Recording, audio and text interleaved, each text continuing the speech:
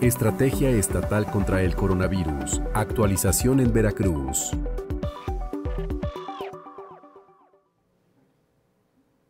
Buenas noches a todos.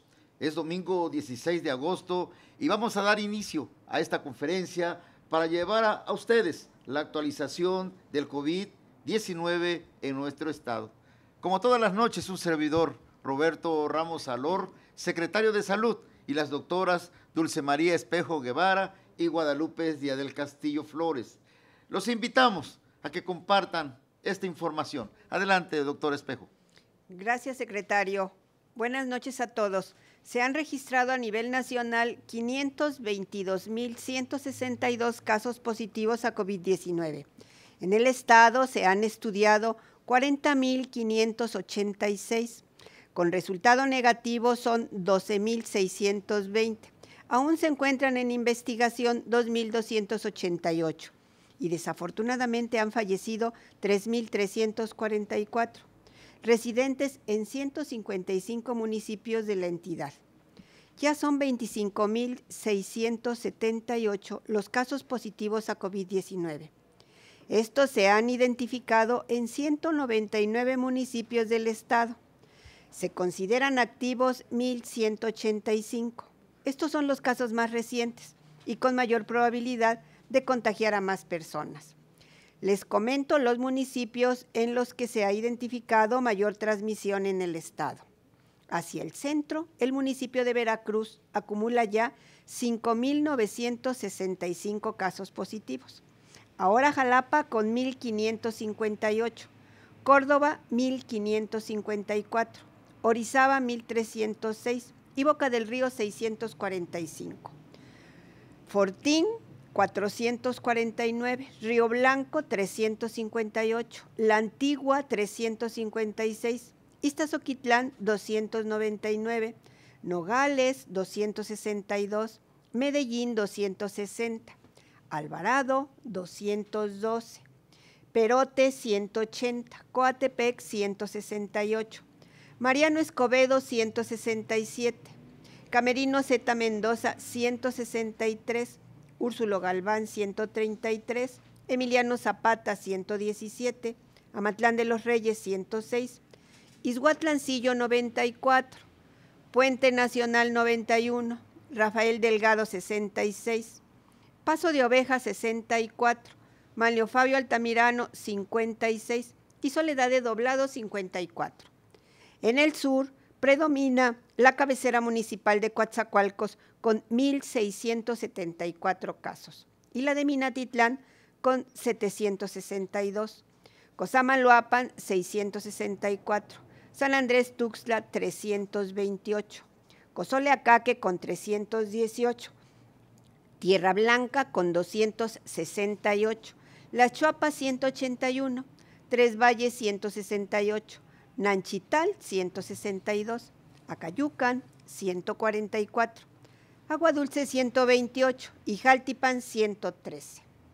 Carlos Acarrillo 104, Lerdo de Tejada 83, José Azueta 80, Isla 75, Santiago Tuxtla 74, Ángeles Recabada y Catemaco 56 cada uno. Y hacia el norte, Poza Rica con 1215. Tuxpan con 632 y Martínez de la Torre 393. Pánuco con 310, Papantla con 293, Coatzintla 170, Tihuatlán 137, Álamo Temapache 84, Pueblo Viejo 70, Misantla 69, Tlapacoyan 68, Chicontepec con, 50 y con 56 y Tantoyuca 51. Reiteramos que es importante que no se expongan a contagiarse y no contribuyan a la dispersión de la enfermedad. Quédense en casa. Paso el turno a la doctora Guadalupe. Muy amable, doctora. Buenas noches a todos y a todas. El gobierno de México califica al estado de Veracruz en riesgo alto para coronavirus, es decir, color naranja. Ustedes saben que cada dos semanas actualizamos el semáforo de riesgo y les informamos en este espacio los cambios que se presentan al interior de la entidad, ya que al ser el estado de Veracruz tan largo en su extensión territorial, el comportamiento de la pandemia varía. A partir de mañana tendremos 104 municipios de la entidad en riesgo máximo o rojo, 99 municipios en riesgo alto, naranja, y 9 municipios en riesgo medio, amarillo. Les voy a explicar cómo se construye esta semaforización, tanto para el país como para nuestro estado, y cómo se permite calificar el riesgo para el regreso a la nueva normalidad. El primer factor a tomar en cuenta es la capacidad para la atención hospitalaria, es decir, cuántas camas hay disponibles para pacientes con COVID-19. Por ejemplo, si tu municipio tiene pocos casos, pero en el hospital que te van a atender está lleno por casos de otros municipios, pues el riesgo se mantiene alto. Otro factor importante a considerar es la cantidad de casos que han notificado en los últimos días en el municipio en donde vives. A grandes rasgos, estas son las actividades de acuerdo al nivel de riesgo. Presten muchísima atención. Todos los municipios que están en semáforo rojo de la nueva normalidad siguen exclusivamente con actividad esencial. Si tu municipio está en rojo de la nueva normalidad, solamente están abiertos los restaurantes al 25%, los hoteles al 25%. El aforo del supermercado podrá ser de hasta 50% con solo una persona por familia. Todo lo demás, cines, teatros, centros religiosos, centros comerciales, centros nocturnos, parques y gimnasios están suspendidos y seguimos presentando las disposiciones en la página para la supervisión de su operación. Si tu municipio está en naranja, ya pueden abrir al 25% los cines, centros comerciales y centros religiosos, al 50% de aforo. También los hoteles, restaurantes, parques y plazas, estéticas y gimnasios, albercas, centros deportivos, centros de masaje. Los mercados y supermercados al 75% de su capacidad, pero solo una persona por familia podrá ingresar. Sin embargo, siguen suspendidos los eventos masivos y parques recreativos, así como los centros nocturnos y los bares. Como lo hemos mencionado, esto va a cambiar. Puede cambiar. Para que cambie todo depende de que nos apeguemos como sociedad a las nuevas disposiciones de las autoridades.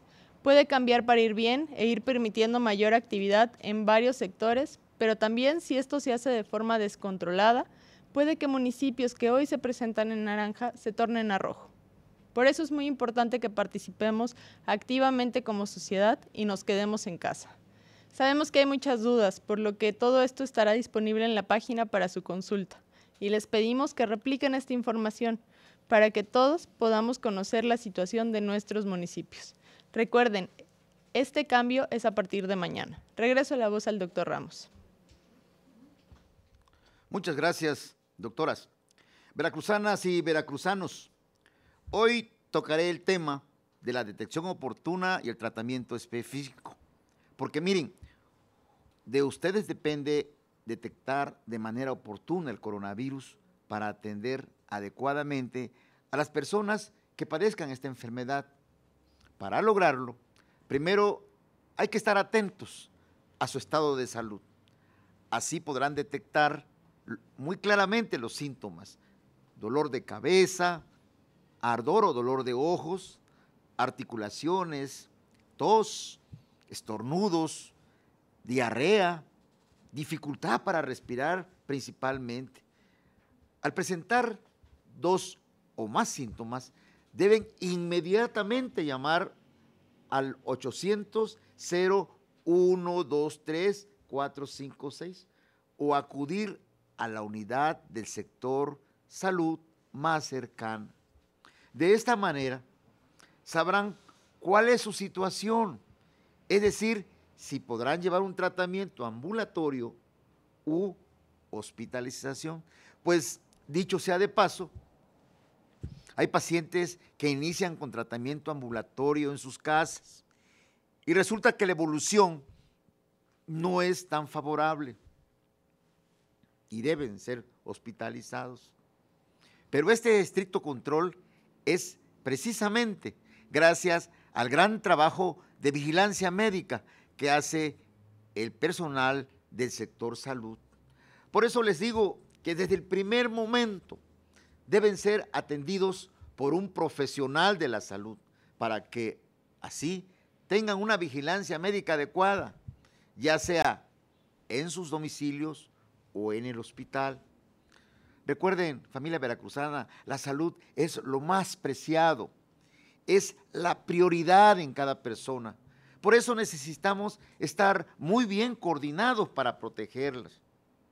Por esa misma razón es que les hemos estado, les hemos estado pidiendo que no se dejen llevar por información falsa que pongan en riesgo su salud y por supuesto su vida.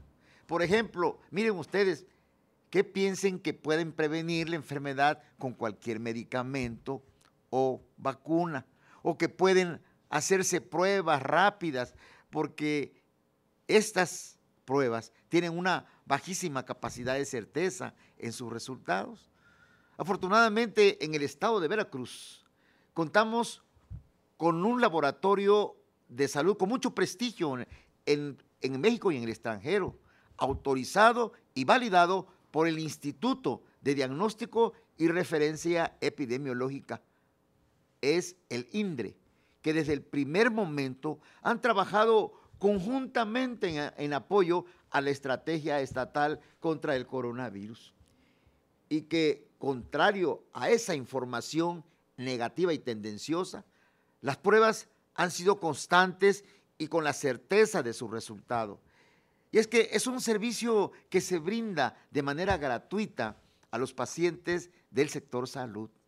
Desde luego, hay que decirlo, hay laboratorios privados que igualmente están realizando las pruebas y cuya validación la pueden ustedes verificar en la página oficial de la Secretaría de Salud Federal. Subrayo, hay que estar muy pendientes de cada uno de nuestro estado de salud y estar siempre con las medidas de protección sanitaria. Pues recuerden que hay quienes igualmente adquieren el virus y no registran síntomas y por eso hay que cuidarse aún más. Les recomiendo visiten la página oficial coronavirus.veracruz.gov.mx para que allí consulten el, el comportamiento en cada uno de sus municipios. Por hoy es todo. Gracias por su atención y que tengan excelente inicio de semana. Muy buenas noches.